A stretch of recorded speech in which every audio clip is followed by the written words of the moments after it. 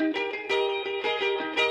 everybody had an ocean across the USA, then everybody'd be served like California.